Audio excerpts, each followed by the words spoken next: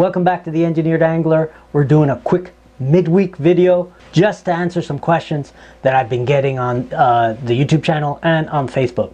I'm trying to get the longer videos posted uh, in the end of the week, like Friday, Saturday. The reason I'm doing this video is because I really like to do a little fill-in since I'm getting a lot of questions and really good, smart questions on a few topics. I thought, you know what, why not do a video and answer those questions uh, directly with everybody. I had a question on uh, the hinge and had and its use before I use it. Question on, on issues with twist.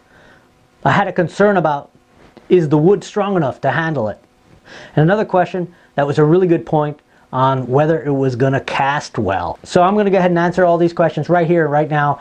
And if you've been enjoying these videos, please subscribe. It's free and it helps me out. It really does. Helps me out, keeps me enthused. It keeps the channel growing, which means I, I, I start to work my way out from under the uh, wet blanket of the YouTube algorithm. It also gives me an opportunity to kind of read what really is interesting to the folks out there. And this way I can mold my content a little more to the kind of things you guys want to see. Let's get to it. Question number one. People have pointed out uh, that this double hinge system has been used before in uh, lures, and I, I know that. Uh, it's not new. It's double hinges have been around for a couple thousand years, uh, and they've been used in uh, lures since people have been making lures, really.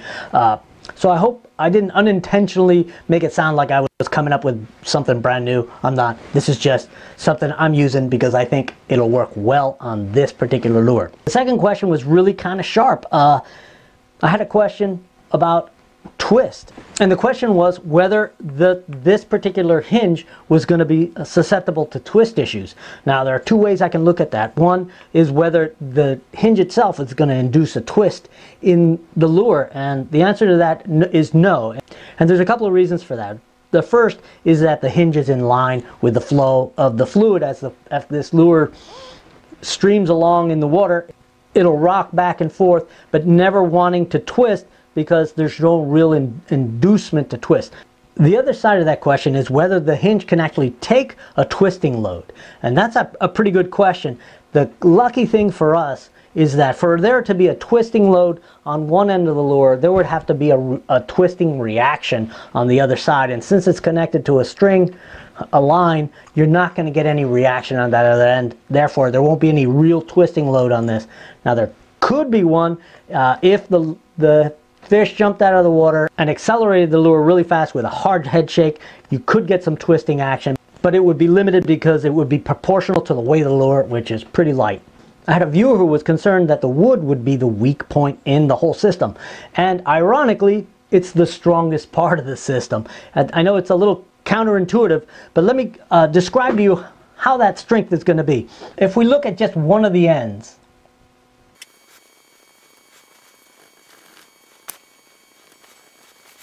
if you look at this end and considering that is the pin, and this is that bulbous slot end, the typical failure mode that would be expected is for this wood to fail as a rupture out in that direction, right?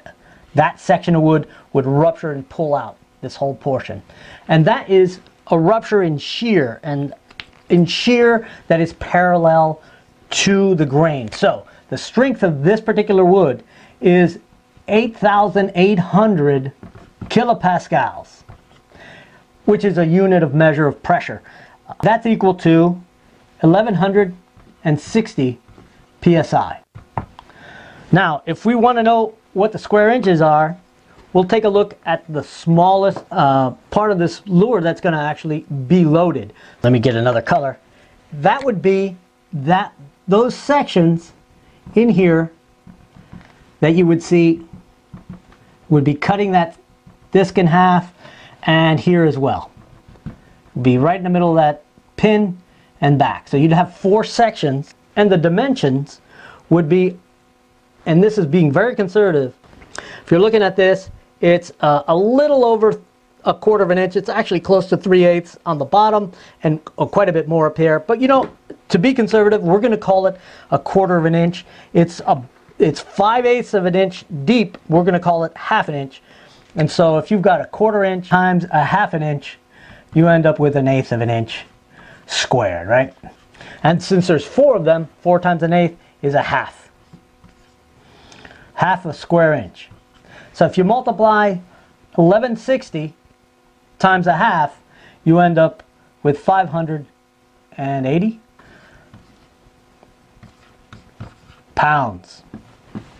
So this wood loaded in this way can handle 580 pounds. Now, if I wanted to be more conservative and cut that in half, I'd still have substantial amount of strength here, probably more than those little pins can handle.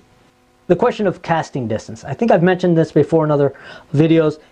Lures that have uh, segmented sections, either broken back or single segment or multiple segments, tend to be poor casting lures. They won't go as far as a well weighted, uh, well shaped lure designed to really cast a long ways. These aren't designed to cast a long ways.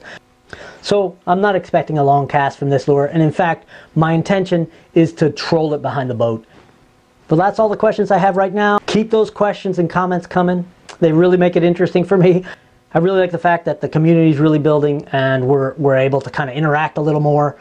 It makes it fun for me and you know, when are you going to be able to ask a professional engineer a question and not get a bill in the mail? all right, thanks for watching. Subscribe, share this stuff, and I'll catch you on the next video.